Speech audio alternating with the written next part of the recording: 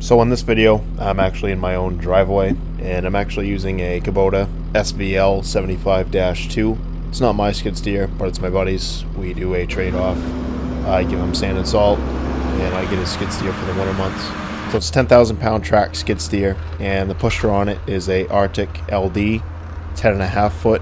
Did a pretty good job pushing. Um, obviously, if I was going to plow this full time, I'd either want some studs or chains. But overall, I was pretty impressed with it. It is an extremely loud cab compared to my JCBs. Uh, the snow is about six and a half inches, extremely fluffy and light, very easy to move.